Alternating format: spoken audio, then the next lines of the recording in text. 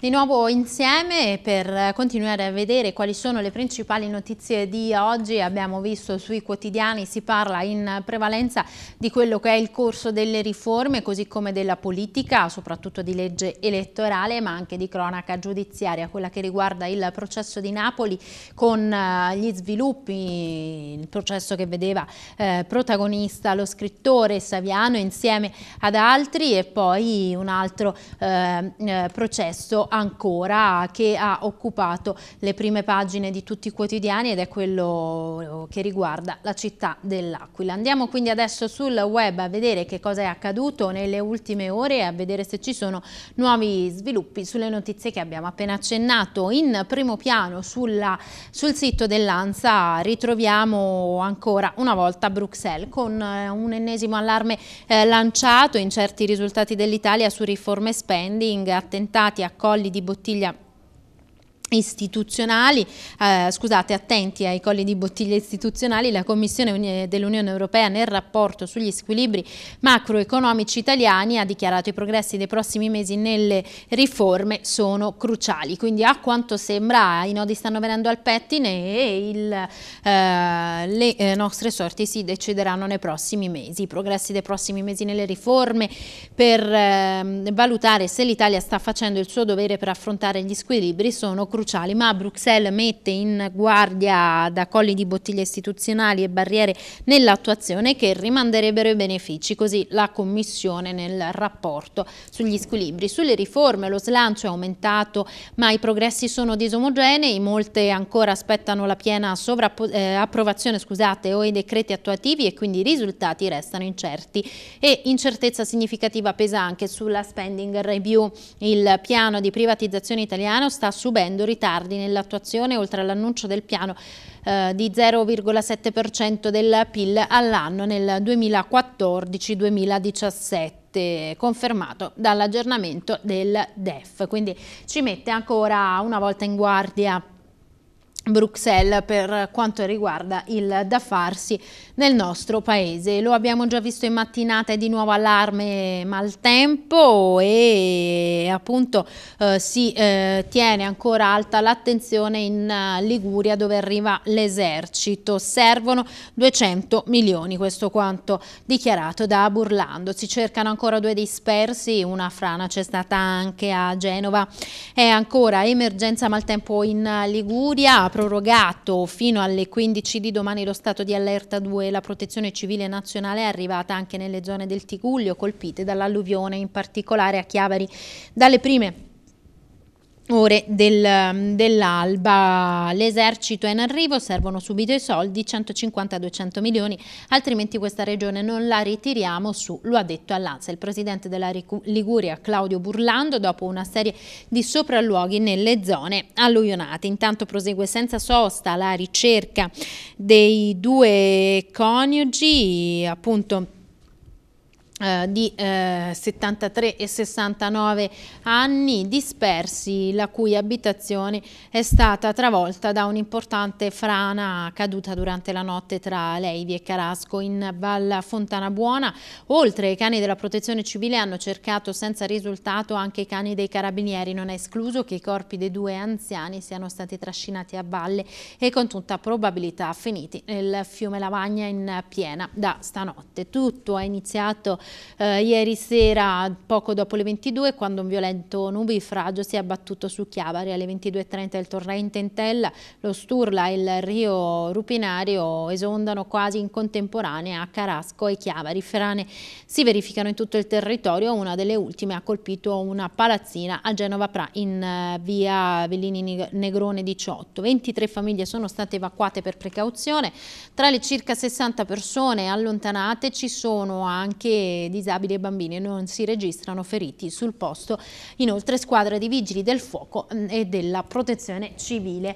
Questa al momento la situazione per quanto riguarda Genova e più ampiamente la uh, Liguria.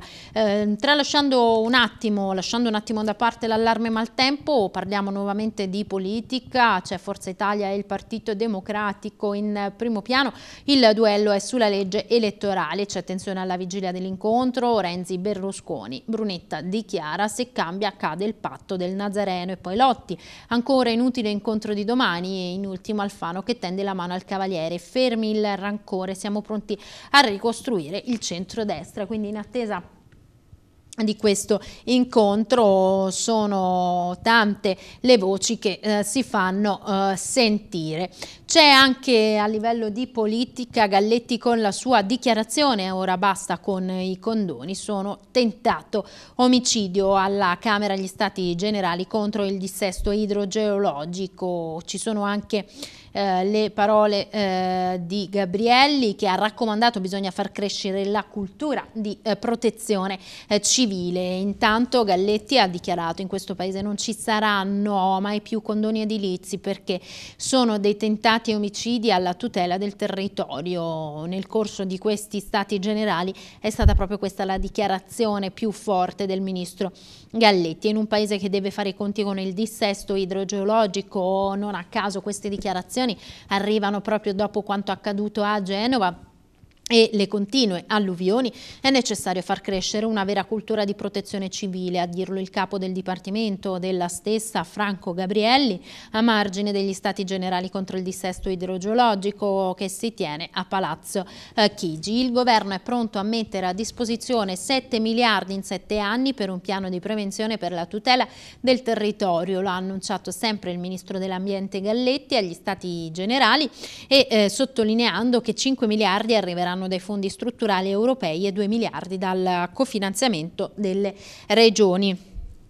Nei primi mesi del prossimo anno inoltre partiranno 659 cantieri per un totale di spesa di 1,96 miliardi, quindi eh, stati generali sul dissesto idrogeologico e condizioni che continuano ad essere avverse per quanto riguarda Genova già fortemente colpita dall'alluvione e tutta la Liguria, ma c'è l'allarme maltempo anche per la nostra regione e lo vedremo eh, tra poco. Intanto continuiamo la lettura del sito de, delle principali notizie sul sito ANSA e eh, la riforma del catasto l'abbiamo ampiamente vista sui quotidiani e c'è la dichiarazione di eh, Saviano a seguito della sentenza che lo scrittore ha definito come una vittoria a eh, metà. È una vergogna che si possa solo pensare che esiste un avvocato di Camorra che agisce senza chiedere indicazioni ai propri clienti, ma dove si è visto che un avvocato non, concordi, non concordi la sua strategia difensiva con l'imputato imputato o se eh, lo rappresenta con la parte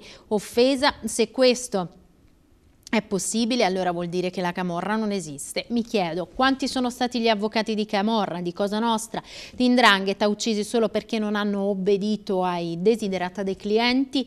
Intervistato da Stampa Repubblica, lo scrittore Roberto Saviano parla proprio in questo modo, parla di questa eh, vittoria eh, a metà, eh, ponendosi e ponendoci anche questi interrogativi che rimangono senza risposta, perché una risposta eh, l'hanno già eh, implicita e non c'è bisogno di esprimerla ulteriormente. La soluzione di due capimafia di quel calibro lascia troppi interrogativi aperti. Un avvocato considerato al servizio del clan e da oggi condannato come Santo Anastaso a nome di chi avrebbe lanciato quelle minacce di natura mafiosa se i due padrini non eh, sono prosciolti? Ancora un eh, interrogativo posto da Saviano. Raccontare queste storie ha fatto esplodere l'attenzione mondiale verso questi fenomeni, certo conosciuti e già raccontati e ora la mia paura è esattamente il contrario, che si dica ok, tutto è risolto, archiviato, invece i problemi restano enormi, il loro potere continua a essere forte. In aula, per esempio, quelli che dovevano essere protetti sembravamo noi e i vincenti erano loro valore in qualche modo. Mi è bastato vedere il boss eh, Bidognetti collegato in videoconferenza. Loro pensano di essere ancora il potere. Lo scrittore Roberto Saviano si è recato questa mattina in visita al nuovo Teatro Sanità nell'omonimo quartiere di Napoli, dove ha incontrato Roberto Gelardi, direttore artistico della struttura e regista della versione teatrale del suo libro. Secondo quanto riferiscono dal teatro, Saviano è arrivato dopo le 8 all'indomani della sentenza del processo per per le minacce rivolte a lui alla giornalista Rosaria Capacchione, condannato l'avvocato, lo riepiloghiamo, questa è la notizia, oltre ai commenti dello scrittore, eh, condannato appunto l'avvocato eh, Santo Anastaso ma assolti i boss Bidognetti e Iovine. Lo scrittore si è concesso ad un selfie con i ragazzi presenti, ha mantenuto, spiega Gelardi, la promessa come si fa tra amici veri, quando vengo a Napoli voglio venire a vedere il tuo teatro e a conoscere i tuoi ragazzi. E così ha fatto questa mattina Roberto Saviano Milano si è recato presso il Teatro del Quartiere Sanità. L'impressione, ha detto eh, visitando questo teatro, è che questo sia un luogo prezioso, il pavimento dell'Ottocento, i marmi, quello che voi fate eh, qui dentro. Quindi eh, questa la eh, giornata di oggi a seguito della sentenza che c'è stata eh, ieri e che ha assolto i,